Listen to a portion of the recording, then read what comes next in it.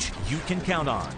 Could the city have saved thousands of taxpayer dollars? That's the question Action 7 News is asking. The Inspector General just issued a report questioning a workers' comp claim after the employee was caught on camera. Action 7 News reporter Will Carr is here with the story. Doug and Shelley, the wording in this investigative report is strong and critical. It all has to do with this video and the fact that the IG thought the city could have saved you money.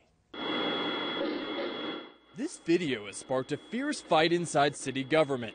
According to an Inspector General investigation, the video shows a transit employee releasing the parking brake on the van she had been driving. The van then lurches forward with the transit employee hanging half in and half out of the moving vehicle. The IG's investigation found that the driver had failed to put the van in park before she popped the emergency brake and that she was not being truthful about her account of the events. The driver went on to file a workman's comp claim and they settled this at a very good rate. Um, Thirteen thousand dollars.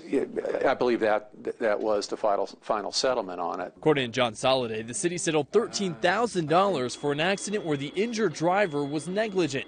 The IG certainly noticed, stating that if the city had kept the IG informed, the city would have been in a better position to settle for a lesser amount. I have to admit, I'm disappointed in the in the finding in this report. According to the report, the IG expressed discontent from a lack of cooperation from the city and pointed out numerous inconsistencies with the driver's version of the events. The fact that she was less than truthful uh, really doesn't have a, make a difference in the outcome.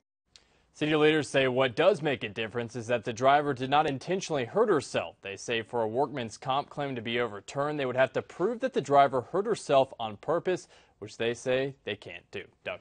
The driver was laid off. We're told that happened after she did not return to work in a timely fashion after her injury.